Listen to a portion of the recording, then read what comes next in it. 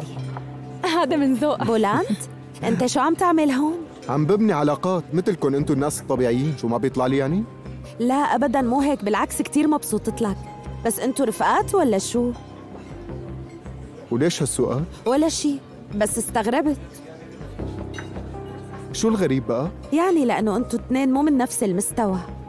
ما بدي إياك تفهمني غلط بس الواحد بيحاول يعمل صداقات مع ناس من نفس طبقته.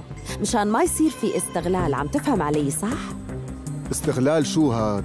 يعني شفنا أمثلة كتيرة بحياتنا. جماعة الطبقة الفقيرة مشان يحسنوا حياتهم بيتصرفوا مثل الصيادين.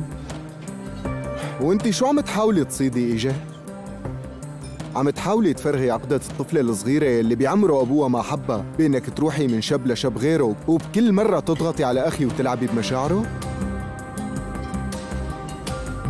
بولانت الله يسامحك. أنا بس عم حاول نبهك ووعيك على الموضوع. يعني مشان ما تصير ضحية لطمع حدا بالمصاري. وما تفكر هاي البنت عم تطلع معك مشان شي غير هيك وبلا ما تنصدم ويخيب أملك بعدين. بتعرفي شو؟ انت أكثر وحدة مريضة. الله يسامحك. أنا مريضة؟ تمام. معناتها اسألها لرفيقتك. لو ما كان معك مصاري كانت رح تجي معك لهون يا ترى؟ اسألها قصدك مستحيل تقبل تكون رفيقتي وأنا بوضعي هاد مو هيك؟ لا حبيبي بولند بقصد أنت وهالبنت مستحيل تزبطوا مع بعضكم. خلصنا بكفي بقى. وحاجة تخبيص وحكي سخيف. يلا. ما بدي إياك تتضايق بنوب أنا بس عم حاول حذرك لأني بعرف هي النماذج كتير منيح.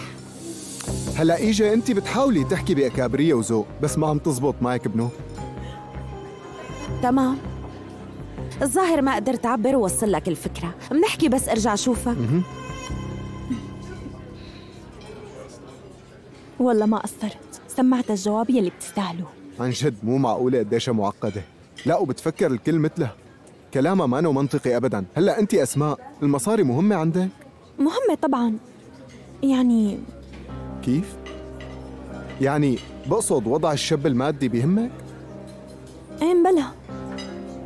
وشي طبيعي إني أفكر بهالطريقة لأني بعرف كتير منيح شو بيعني الفقر يعني عن جد أنت ما كنتي طلعتي معي لو ما كان معي مصاري؟ هلأ أكيد ما بحب أطلع وفوت مع شخص فقير وعيش حياة تعيسة وأتعود على القلة وما بظن في بنت بتحب تعيش مع شب هيك عيشة مو هيك؟